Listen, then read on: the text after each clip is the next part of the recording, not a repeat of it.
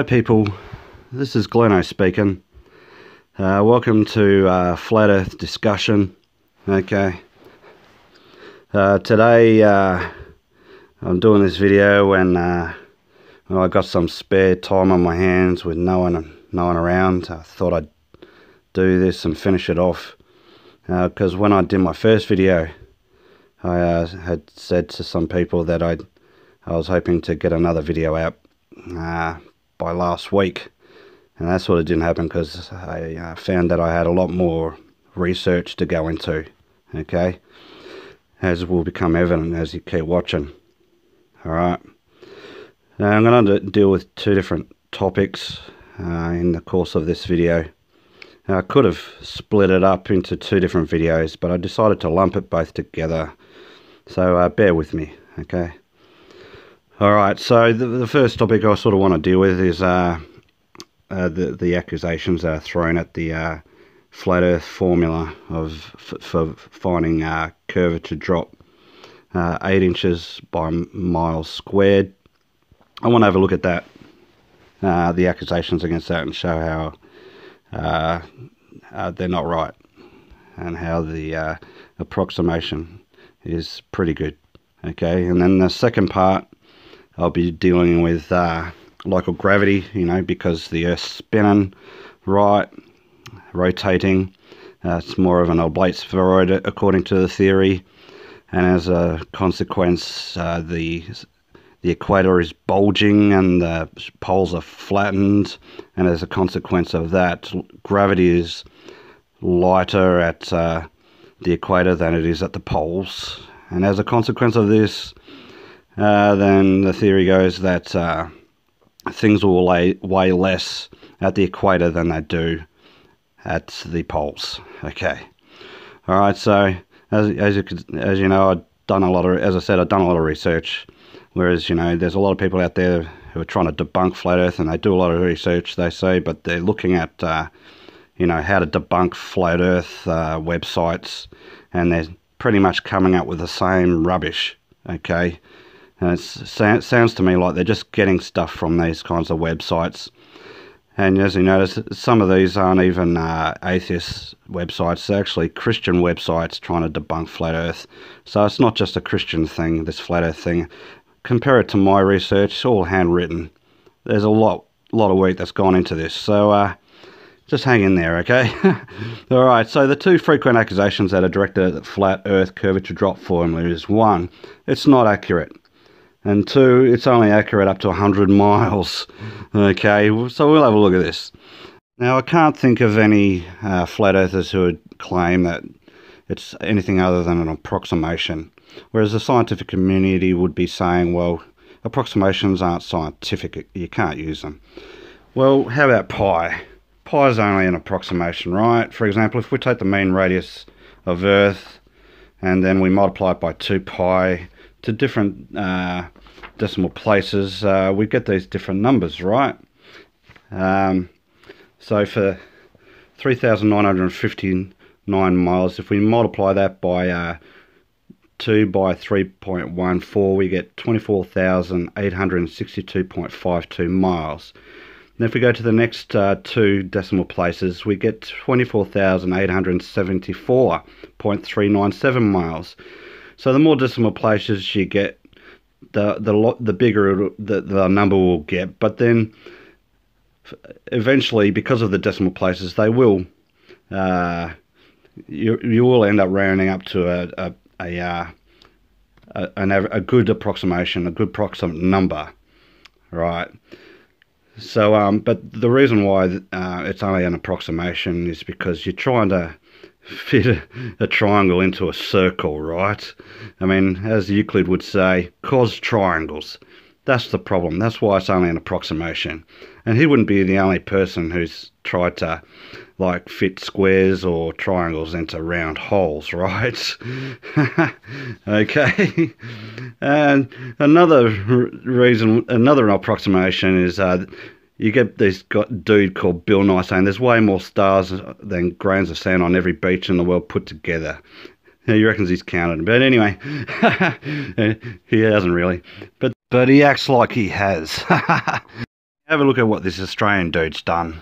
Use estimations, right, to find out how many stars there are, then how many grains of sand there are, right, in order to come up with his theory of how many uh, uh, how many grains of sand compared to stars in the sky.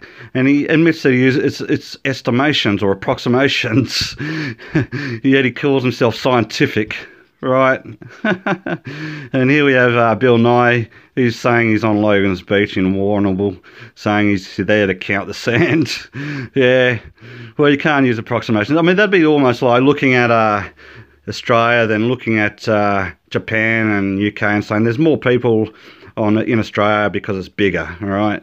Then you find out there's only 24.4 million people in, a, in Australia compared to 126 million in Japan and 65.4 million in the UK. Okay, then you have a look at this and which ones are correct? You know, they can't even get the radius right you know, of their oblate spheroid.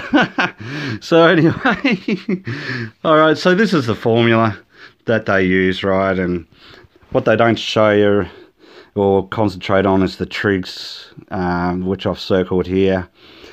But uh, I don't think they claim that it's even 100% accurate. It's just an approximation. That's the old version, and then they've updated the version to give it a up to 3,959 miles.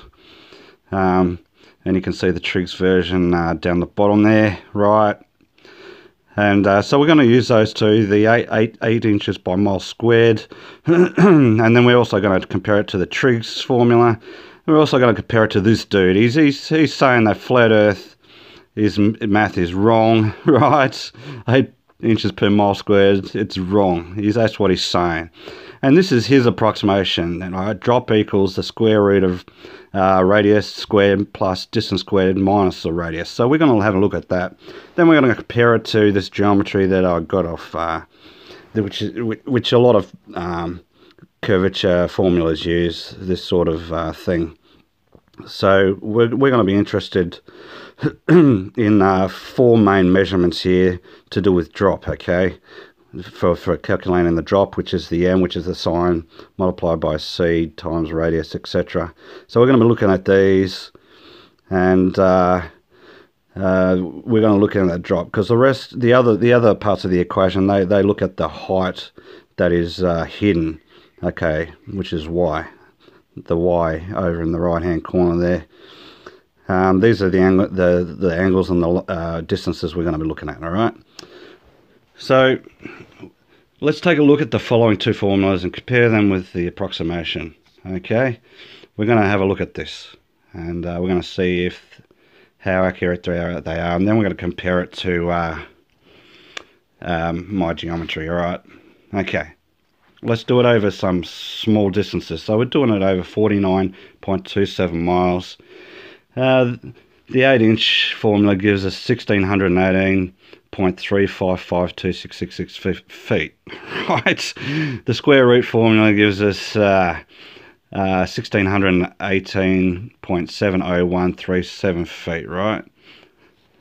And uh, as you can look at the other equations and my own geometry, you'll notice, if you pause the video, you'll see that uh, Dropkick here is, I'll call him Dropkick or Dipshit, his square root formula does happen to be a bit closer, right? Now we'll look at 63.71 miles and uh, drop kicks is still closer to uh, the geometry, okay? But uh, we're going to go a bit bigger. I'll get you to pause the video and just do the maths and look at the numbers yourself, okay? We'll go bigger and uh, now, uh, as you can see, over 119 miles Dropkick's uh, formula is a bit closer still than uh, the 8 inches by mile squared to the actual geometrical uh, equation, okay? But uh, we will go even bigger than this, okay? I'll have a look. And then we look at 147 miles.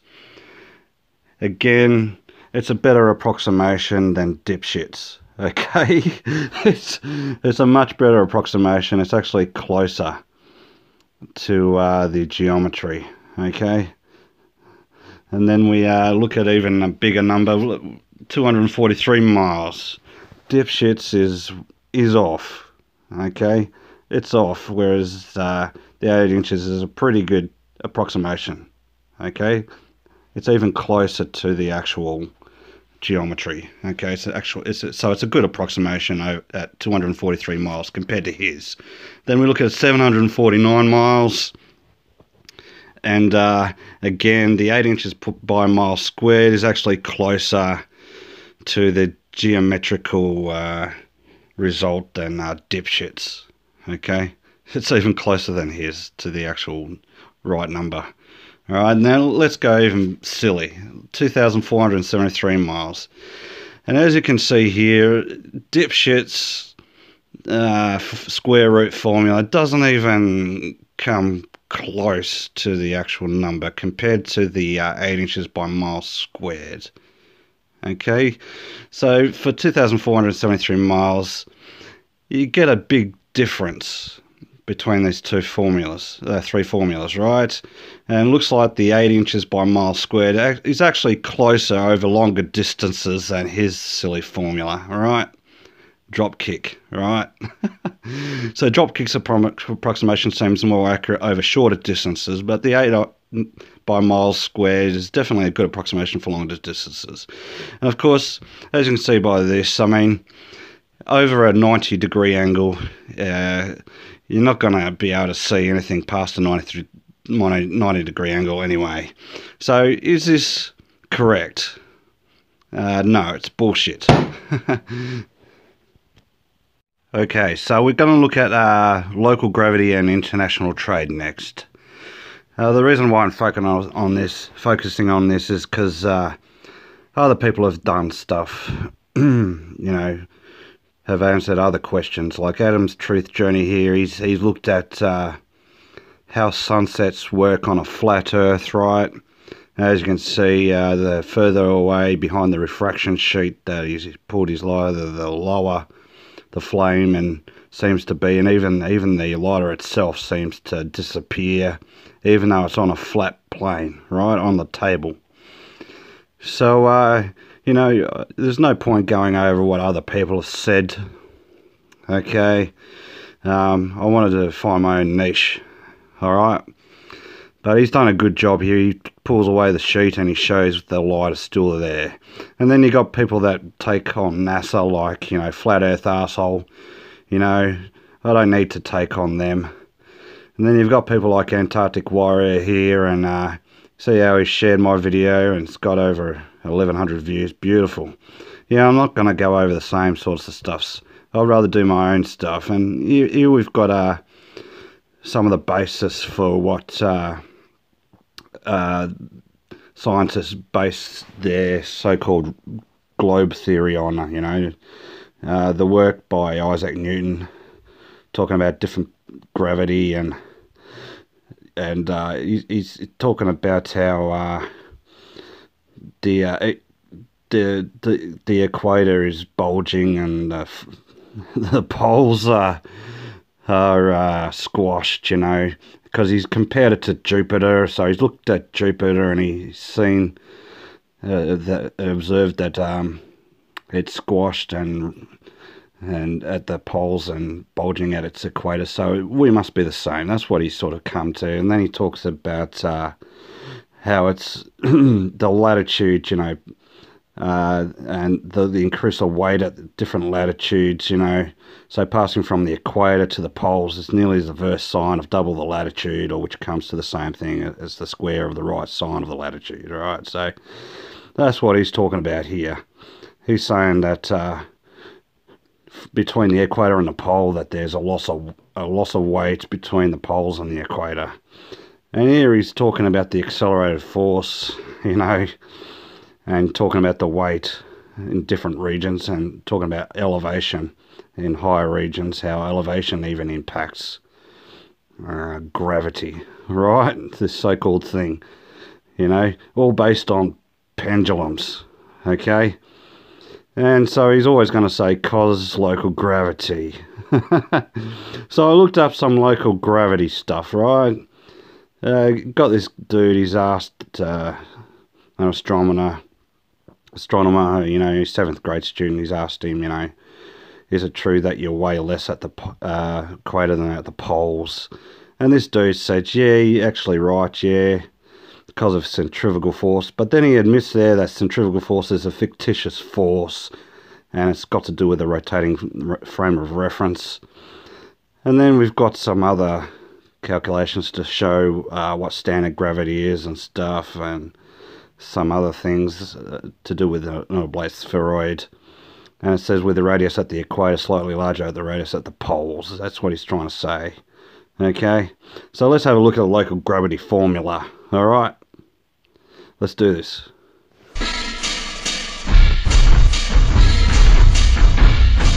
I looked up um, uh, how you can calculate your local gravity, right?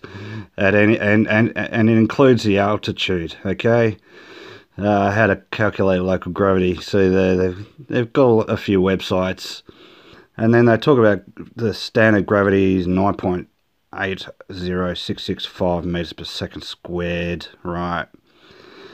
And you can find out using that. Uh, the, their equation how to um, find out your local gravity at a given latitude. All right. Um, there are actual calculators on web on the web, but I did this by hand myself anyway.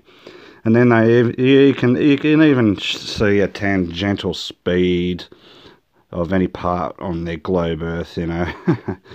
and uh, this is what uh, the gravity of Earth looks like. it, do, it doesn't look uniform at all, uh, the way they've described it. So anyway, let's have a look at this. Uh, the local gravity formula and its breakdown. We've got uh, gravity equals that, right? And then there's the first part, which is the international gravity formula, right? Okay, and the second part's the FAC, which is a free air correction, all right, which is meant to um, correct for height or elevation. All right, going by the idea that uh, gravity decreases as you go higher in elevation. All right, now we've got these two oblate spheroids. Okay, and uh, on the left here, I'm going to chuck the original theory, uh, which gives us uh, the you know the North Pole and the South Poles having higher gravity than uh, at the equator, and at the 45 uh, degrees of latitude, it gives us uh, standard gravity of 9.08665 meters per second squared. And we look on the right there, see what the reality is. Well, Earth's actually got less gravity than uh, Pontianak or Quito at the equator, okay? It's a total reverse. And if you're wondering how I got all these numbers, I sort of looked it up, uh, the coordinates, say, of Quito like this, and then I looked up its elevation, okay? I did the same for all of them, even Fremantle Oval. Alright, I've got Fremantle Oval there. And then I even looked up on uh, topographical maps. Okay. And then uh, if we take out the FAC part, alright, at Quito, it gives us the same gravity as it did with with it, which debunks itself. It shows that the FAC doesn't work, instead of seeing gravity increase as we move away from the equator, it actually decreases. Now, if we look at, we even decide to add some elevation to Quito. They're talking about the, the they've got a proposed Tower of the Sun, right? And um, and uh, if we crunch the numbers uh, using the 1600 meters for the height of the tower on top of uh, the 2850 meters uh, we end up getting the same result. So it doesn't even work adding the altitude. Now, why it's flawed, if we plug in the numbers for poles of 90 degrees and the equator at 0 degrees and at sea level and um, 45 degrees um, latitudes, we actually get similar gravity at the poles and the equator, but we get uh, uh, less gravity at the uh, at the 45 degrees, which makes the Earth look a bit like this, right?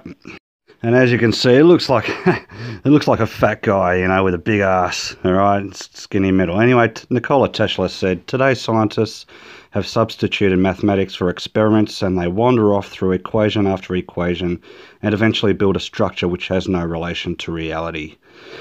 Okay, and that seems to be the case here. Um, especially with the IGF and the FAC, they don't bear any resemblance to reality.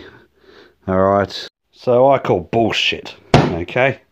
It's all bullshit. It doesn't work. Anyway, let's have a look at part two, which is the international trade and local gravity. I'm going to show you how international trade would uh, effect, be affected by local gravity. Uh, some people write this off as insignificant, you know, like it wouldn't have much of an effect. But, you know, if in the context of international trade, once I show you the figures, I think you'll see that it would have a big impact. Okay, so I did some econometric uh, research. Okay, uh, I looked up, you know, gravity and its effect on international trade, and I only come up with a few articles here and there, and they basically don't even talk about gravity as such, other than as a constant. So they don't even look at it at a local level. They're more interested in like distance, distance and costs to do with importing. Okay, as some of the main reasons why they don't. Uh, it, it, it, shows to be uh, a bit smaller than in, intracontinental trade. Okay, um, there are other factors. For instance, in Malaysia, you know, for a while they stopped uh, importing our poultry because of the bird flu, and there are other, you know, reasons. You know, like the US had a bit of a scandal where two suppliers uh, weren't supplying real halal beef and so they preferred to buy from Australia. Okay, whereas you get other countries that prefer to buy from the US because you know their beef's probably two dollars US uh, cheaper than Australian meat. So there's all sorts of different uh, factors that need to be looked at. But one of them you, uh, that would need to be looked at if it was true would be uh, local gravity and its effect. Okay, now as you have a look on here, it shows you his references that he uses. And one of interest to me is uh, uh, there's one here uh, to do with uh, the gravity data, right? And so I looked up this gravity data thing. Okay, as you can see, I have done a lot of research, and it, and it talks about the gravity, and uh, it talks more about the distance and the amount being exported and stuff. It's got nothing to do with actual gravity. okay, so this is actually new territory. I'm breaking new territory. I'm a pioneer in this. Uh, so hopefully, if you wanna you wanna talk about local gravity and inter, and its effect on international trade, you can come to this video. This is it. But I'm going to show you how it doesn't. All right, how it does not affect international trade, mainly because it's it's not doesn't even exist. Okay, it's bullshit. All right. But anyway, so it talks about the trade flow and economic mass of each country and the distance. And it says treats, treats G as a constant, right? So, so I looked at, um, started looking at our meat exports, all right? And as you can see, here's all the different lamb and mutton and beef. I looked at uh, all the different countries we export to. Then I looked at carrots and all sorts of stuff. I've done a fair bit of reading. So anyone who says I don't know what I'm talking about, uh, just have a look at what I've looked at, right? You you have a look at it yourself and you uh, see if uh, I even looked at buffaloes, right? So I start off with a cow. I thought beef, yeah, we'll look at beef exports, and so I looked at. Uh, I even looked at shipping routes. Right, this is an interactive one. And it shows that there's a lot of international trade. It's actually going against their own uh, their own thesis. They're saying there's no not much international trade. This is showing a lot. Okay, and uh, you can even look this all up yourself, and it's pretty cool. All right, so um, uh, they say there's a 0.5 percent weight difference between the equator and the poles. So if we divide that by uh, 90 degrees, we get 0 0.0005555556 of a kilogram weight difference per degree of latitude. If you're wondering how I came up with that, well, I just multiply one kilogram by uh, 0.5%, right? And you, are left with, uh, it gives us five grams, okay? And uh, if you divide the uh, uh, 5 grams by 90 degrees, you get 0.000555556 of a kilogram per degree of latitude, all right, between the equator and the, either pole. All right, and why is this? Because local gravity. Moo. all right. So, sorry. Anyway, we'll look at Charleville and Kuala Lumpur and Jakarta, all right? I take the uh, latitudes of uh, Kuala Lumpur and Jakarta and I subtract them from Charleville, which is in um, Queensland. All right. And then what I do is I uh, multiply them by uh, uh, the 0, 0 0.000555556, which gives you the difference, uh, latitude, latitudinal variation uh, of, of, a, of a kilogram, right?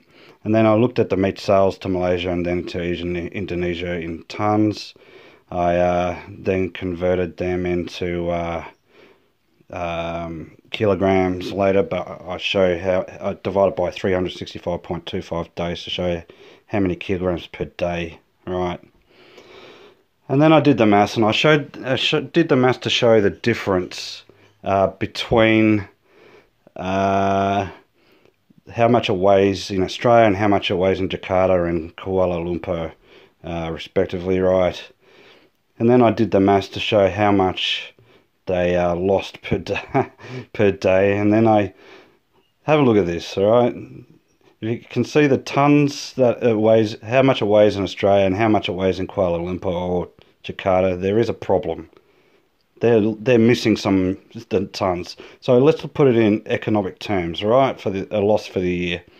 Uh, as you can see, uh, one's lost ninety-five thousand dollars worth, and and uh, the others lost uh, about $263,000 worth, right, over the course of the year. All right, and all because of local gravity. Moo. I call bullshit. Okay, it's rubbish. All right. Anyway, so I looked at uh, lamb as well as uh, mutton, right? Because uh, it wasn't giving me the figures I was after that I thought would be persuasive okay and I did it also over a five year period to try and get some bigger figures alright then I uh, looked even into wheat and um, tried to look over that and then poultry over a five year period and uh, then I uh, even looked at buffalo which I talked about earlier and um, and then even uh, seafood. I looked at our seafood exports, okay, and uh, then I looked at the goat export, which seems to be increasing, and uh, sugar even. But even that wasn't giving me enough, so I went for carrots. All right, looked at carrots. I looked uh, at this over a five-year period, and uh, also from uh, different places like Papua New Guinea and Singapore, etc. So it wasn't just uh, Jakarta and, and uh, Kuala Lumpur. And it still wasn't giving me the numbers I, I thought would be persuasive. So I, I thought gold. All right. That was my next thought. Try gold. So we're going to have a look at the international gold export data, right? We're going to look at um, export between UK and Switzerland, then Switzerland and China, Switzerland and Hong Kong, Switzerland and India, Switzerland and Thailand, Switzerland and Singapore, and Switzerland and the UAE. And I got this data from the uh, goldcharts.com website, okay? So I've got all the latitudes here of the capital cities. Uh, could have could have used uh, Shanghai instead of Beijing, but I thought Beijing gives me a smaller number. You know, Shanghai being further away from Switzerland would give us a bigger number, so I went for Beijing. All right, so the method for calculating the local gravity, right, and the impact of it on, uh, on international trade. I take the latitude of the exporter and subtract the latitude of the importer, right? In this case, a UK, uh, uh, and we subtract the um, latitude of Switzerland, we get 5.1757. And then we multiply the by the weight variation, right, of 0, 0, 0, 0, 5, 5, 5, 5, 5, 6 per degree of latitude and it comes to this number that I multiply by the dollar amount which, which gives me the loss incurred over those five months okay and then I multiply the net weight of the gold exported in kilograms by an average price per kilogram of $53,350 AUD. Then I multiply the amount paid by latitude variation calculated to find the loss. And then finally I add loss from gold export transactions for each month to find the total. Now we have a look at this. This is where I got the uh, information for price per kilo, $53,350. Um, it was higher, so I went with the lower number. So now I could say I used too high a number, okay? Alright, so let's do some freaking maths. Alright, let's do this.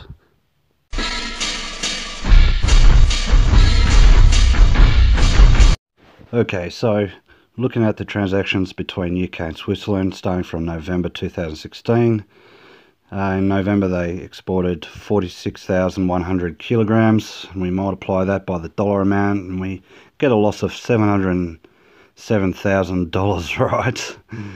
okay. And then we go to December, there's 151,900 kilograms, multiply that by that dollar amount, and then we do the maths, and it gives us a, uh, a loss of uh, over 2 million, right? 2.3 million. Okay, then we look at January 2017. Uh, exported 84,400 uh, kilograms of gold. All right, and that gives us a, a nice loss of uh, 1.2 million uh, dollars worth. All right, we look at February 2017. 30,700 kilograms of gold. All right, multiply all that and do all the maths and it gives us a 470,000 uh, dollar loss okay for that month. Then we look at March 25,600 kilograms of gold was exported. We do the maths and uh, it, it gives us a pretty big loss of $392,709,000 right for that month. Okay so if we were to do the total it comes to five million one hundred ninety-five thousand seven hundred twenty-nine dollars point eight oh two three loss incurred by Switzerland over five months due to imaginary local gravity. Okay, five million bucks. All right, but let's suspend our judgment for the moment and uh, take a look at the gold exported by Switzerland to the six countries I mentioned earlier. Okay, so uh, we'll get uh, a fairly decent amount when we add all this up. So we look at Switzerland to China. There you go. That's how I worked out our um, the the weight difference between the two latitudes, right? Um, by subtracting China's latitude from Switzerland's and then multiplying that by the latitudinal uh, weight variation, right? So in November to China, Switzerland exported 30,100 kilograms, right, which gives them a $573,000 loss. Okay, it doesn't sound much. All right, but let's have a look at December. Then this is because of, of uh, Chinese New Year. so anyway, in December, they uh, gold exporter was 154,100 kilograms, and it gave them a 2.9 million dollar loss in that month. Okay, just that month alone. All right, so then we go to January 2017, 17,800 kilograms with a three $339,097 loss, right? And then we go to February, There's 21,500 kilograms uh, exported, which gives you a $409.5 thousand loss for that month. Then we go to March, 24,000 kilograms of gold exported, which equates to uh, 457 thousand dollar loss for that month, and the total loss for the five month period was over four million. Right, four point seven million incurred by China over five months due to imaginary local gravity. Okay, now we look at Switzerland to Hong Kong, November, forty-four thousand four hundred. Right, which gives you a three point uh, uh, one million dollar loss. Okay, then we look at December, It's 38,900 kilograms were sold, which gives you a $2.7 million loss. All right. December was uh, a bad time for Hong Kong. Then we look at January 2017, 21,600 kilograms, which is a 1.539 uh, million dollar loss to Hong Kong. Okay, then we look at February. There's uh, 7,200 kilograms that were sold. Uh, $513,000 loss in February. Okay, so not having a good good uh, five months. In March, 24,300 kilograms of gold was exported, which gave a 1.7 million dollar loss to Hong Kong. Okay, big loss. So if we we add all these losses for the five month period, we end up with a nine million seven hundred twenty thousand nine hundred ten uh, dollar loss incurred by Hong Kong over five months due to imaginary local gravity. Okay. Now let's look at India. November, we get 61,300 kilograms, which gave them a $3.2 million loss on weight. Okay. December was 21,100 kilograms, which gives them a $1.1 million loss for that month. All right. We're talking big numbers here, much bigger than beef. All right. Then we look at January 2017, 26,400 kilograms of gold exported and we get a $1.3 million loss for that month. Okay, that's a pretty big loss for that month. But uh, you might have thought that, given those losses, that India um, would stop importing gold from Switzerland. But let's continue with the figures for February and March, shall we? Okay, so we have a look at February. 37,200 uh, kilograms exported, which gave them a $1.9 million loss okay? and then we get March, all right, 55,600 uh, kilograms of gold exported, which gave them a $2.9 million loss, approximately, right? Using those figures. So a total loss of for India is 10,586,748.3251 uh, loss incurred by India over five months due to imaginary local gravity. That's a big loss. Okay, let's uh, look at Switzerland to Thailand. In November, there was 4,500 kilograms of gold uh, exported with a loss of uh, $434,000 worth, right? Then in December, there was 10,200 kilograms exported with a $984,000 loss, okay? Um, which is pretty big for Thailand, poor Thailand, right? And then in January 2017, there was 13,800 kilograms of gold exported with a $1.3 million loss. Yeah, that's right, $1.3 million loss for Thailand. All right, then we look at February, there was 3,400 kilograms exported, which gave them a $328,000 loss for that month. All right, then we look into March, there was 3,600 kilograms of gold exported, which gave them a $349,000 loss. Okay.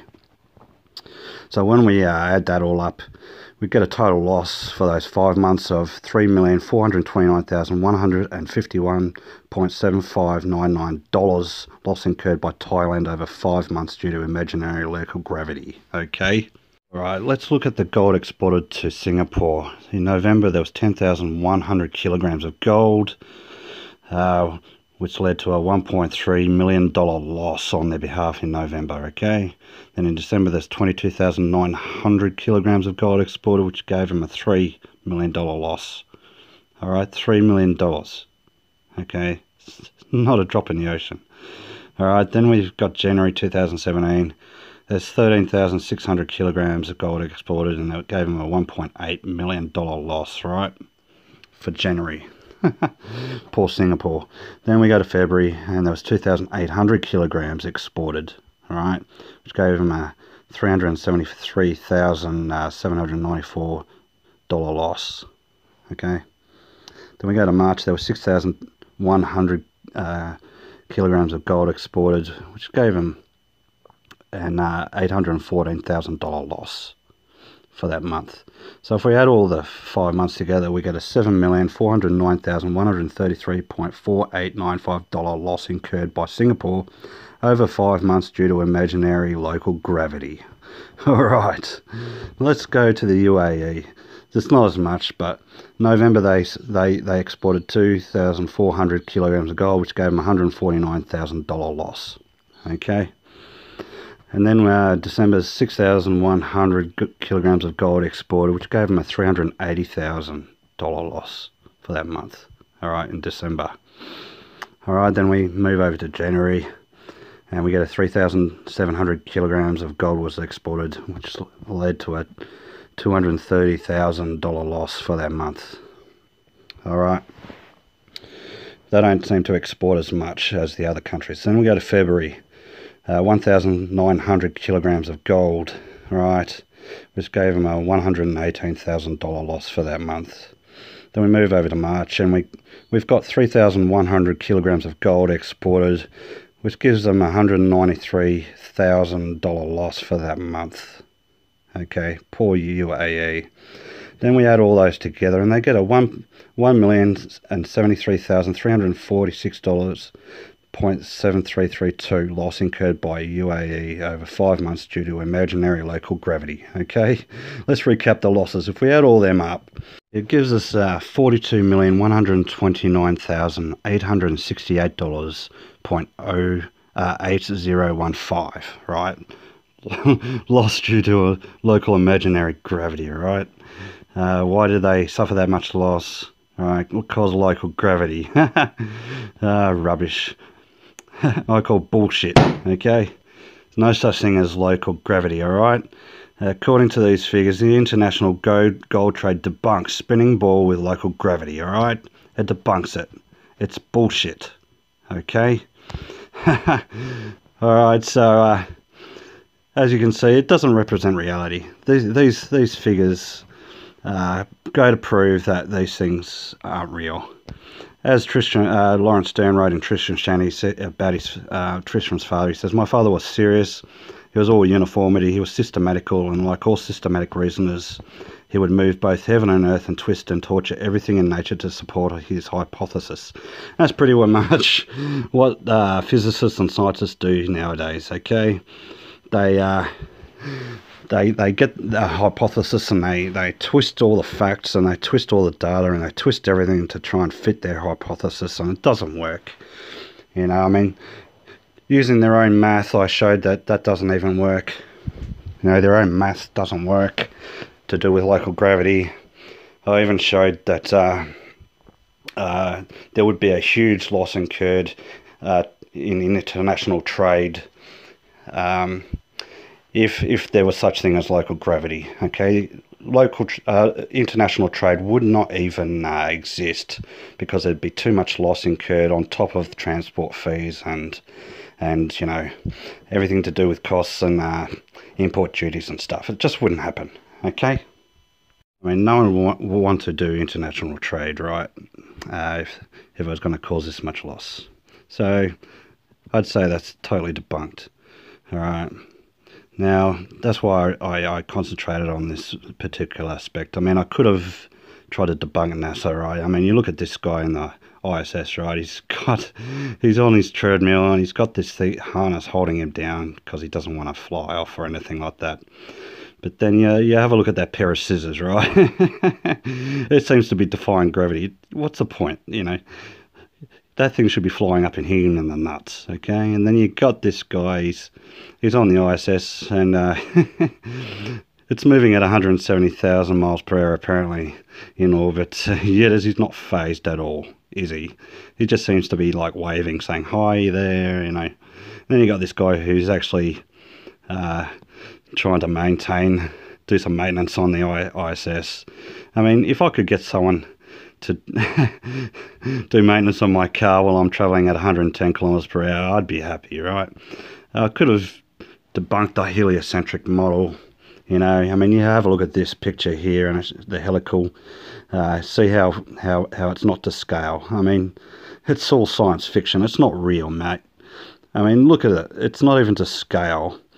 Okay, it's not even realistic. Even this one, it's it's not realistic. I mean, it's not even, it's definitely not to scale. This one's not to scale and it's showing a little planet going in front of the sun, which would be obliterated. And look at this, look at, look at how they try to ascribe it, how close that, that planet would be to the sun. it's not even to scale. It's not realistic. It doesn't describe reality. Whereas you have a look at my picture here. Uh, that's actually to scale. There's the little sun on the left and the even smaller Earth. That's how how much distance there would be between it. And then I could have debunked uh, Don Pettit, right? Now he reckons that we can't go to the moon anymore. We used to be able to, but we can't because uh, uh, the technology was destroyed, right? He's basically admitting that they're not as smart as the NASA scientists of the 1960s who put this piece of shit on the moon, right? all right, and he says it's all it's all cause technology, okay? he says the technology was lost and destroyed, okay? They're not as smart as they used to be. Okay, that's bullshit. Okay, absolute bullshit. I call bullshit on this one. I could have debunked Einstein's relativity. Alright. I could have had a real go at uh, I might do that next next video. And even the idea that the, the, the closest stars are like 40 trillion kilometers away from us. I could could have debunked that, even though, you know, this apparent satellite picture or two of them uh, show the stars between the satellite and, and Earth.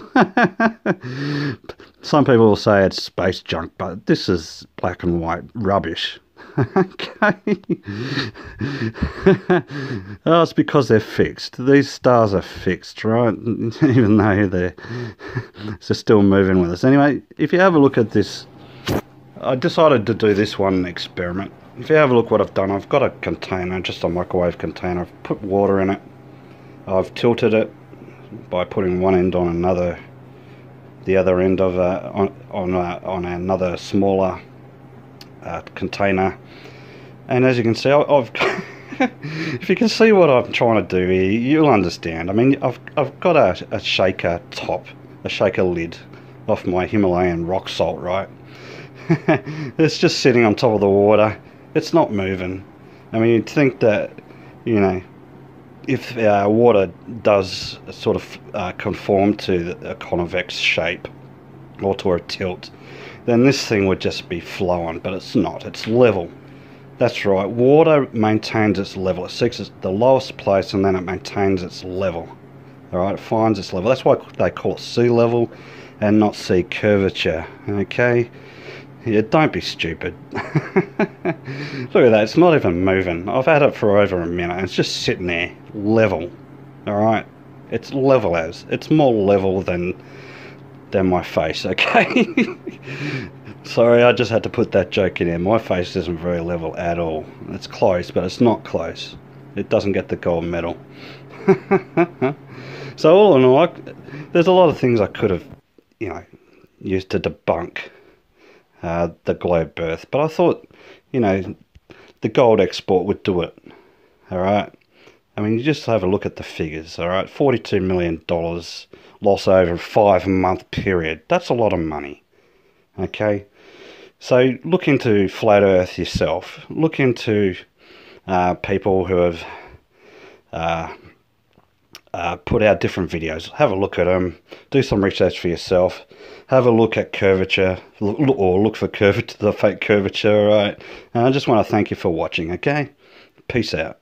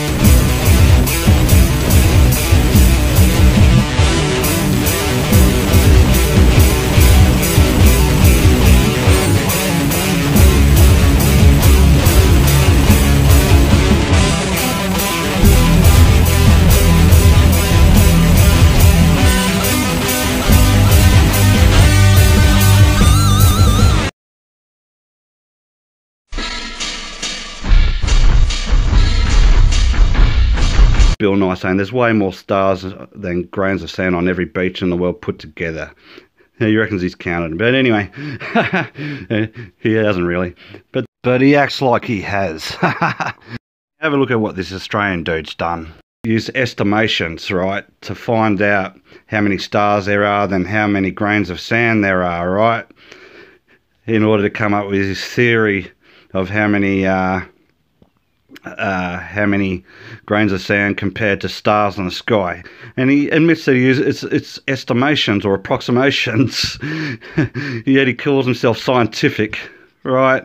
and here we have uh, Bill Nye, who's saying he's on Logan's Beach in Warrnambool, saying he's there to count the sand. yeah, well, you can't use approximations. I mean, that'd be almost like looking at uh, Australia, then looking at uh, Japan and UK and saying there's more people on in Australia because it's bigger, all right?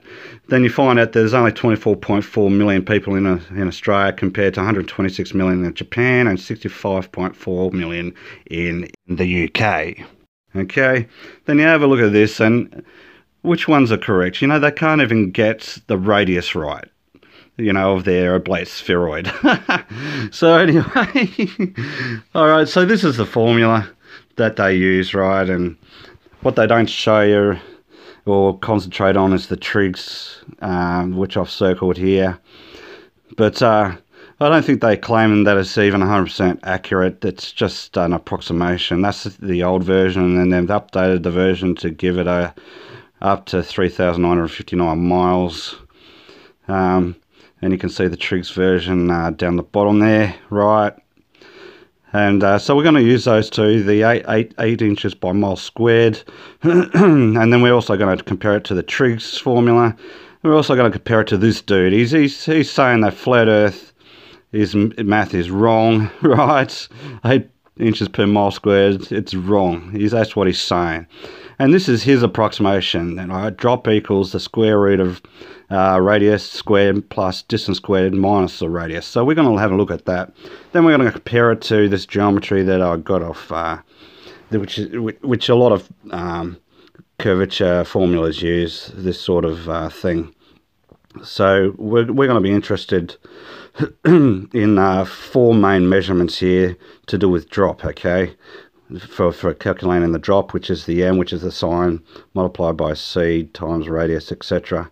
So we're going to be looking at these, and uh, uh, we're going to look at that drop because the rest, the other, the other parts of the equation, they they look at the height that is uh, hidden, okay, which is y, the y over in the right hand corner there.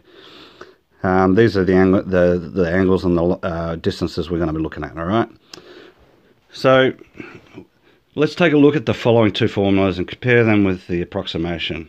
Okay, we're going to have a look at this and uh, we're going to see if how accurate they are, they are and then we're going to compare it to uh, um, my geometry, alright? Okay, let's do it over some small distances. So we're doing it over 49.27 miles.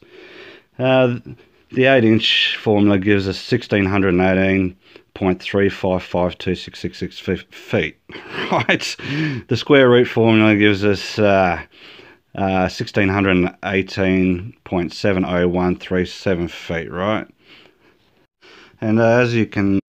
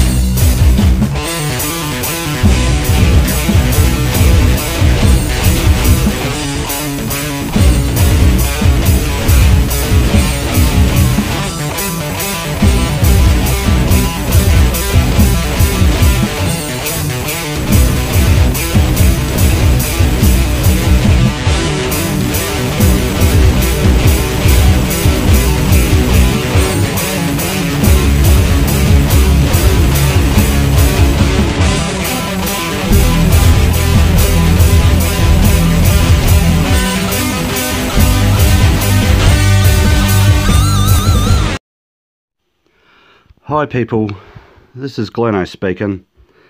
Uh, welcome to uh, Flat Earth discussion. Okay, Uh, today uh, I'm doing this video when, uh, when I got some spare time on my hands with no one, no one around. I thought I'd do this and finish it off because uh, when I did my first video I had said to some people that I I was hoping to get another video out uh, by last week and that sort of didn't happen because I found that I had a lot more research to go into okay as will become evident as you keep watching. Alright, now I'm going to deal with two different topics uh, in the course of this video. Now, I could have split it up into two different videos, but I decided to lump it both together. So, uh, accusations that are directed at the flat earth curvature drop formula is one, it's not accurate. And two, it's only accurate up to 100 miles. Okay, so we'll have a look at this. Now, I can't think of any uh, flat earthers who would claim that it's anything other than an approximation, whereas the scientific community would be saying, well, approximations aren't scientific, you can't use them. Well, how about pi? Pi is only an approximation, right? For example, if we take the mean radius of Earth and then we multiply it by 2 pi to different uh, decimal places, uh, we get these different numbers, right? Um, so for 3,959 miles, if we multiply that by uh, 2 by 3.14, we get 24,862.52 miles. And if we go to the next uh, two decimal places, we get 24,874.397 miles. So the more decimal places you get, the the lot the bigger the, the number will get. But then eventually, because of the decimal places, they will uh, you you will end up rounding up to a a a, uh, a, a good approximation, a good proximate number, right? So, um, but the reason why uh, it's only an approximation is because you're trying to fit a, triangle into a circle, right? I mean, as Euclid would say, cos triangles. That's the problem. That's why it's only an approximation. And he wouldn't be the only person who's tried to like fit squares or triangles into round holes, right? okay. and another reason, another approximation is uh, you get this got dude called, bear with me, okay? All right, so the, the first topic I sort of want to deal with is uh, uh, the, the accusations that are thrown at the uh, flat earth formula of for finding uh, curvature drop uh, 8 inches by miles squared. I want to have a look at that, uh, the accusations against that and show how uh, uh they're not right and how the uh, approximation is pretty good. Okay, and then the second part I'll be dealing with uh, local gravity, you know, because the Earth's spinning right rotating. Uh, it's more of an oblate spheroid according to the theory, and as a consequence, uh, the the equator is bulging and the poles are flattened, and as a consequence of that, gravity is lighter at uh, the equator than it is at the poles. And as a consequence of this, uh, then the theory goes that uh, things will weigh, weigh less at the equator than they do at the poles. Okay. All right. So as as you could, as you know, I've done a lot of as I said, I've done a lot of research. Whereas you know, there's a lot of people out there who are trying to debunk flat Earth, and they do a lot of research. They say, but they're looking at uh, you know how to debunk flat Earth uh, websites, and they're pretty much coming up with the same rubbish. Okay. And it sounds to me like they're just getting stuff from these kinds of websites and as you notice, some of these aren't even uh, atheist websites, they're actually Christian websites trying to debunk flat earth. So it's not just a Christian thing, this flat earth thing. Compare it to my research, all handwritten. There's a lot, lot of work that's gone into this. So uh, just hang in there, okay? all right, so the two frequent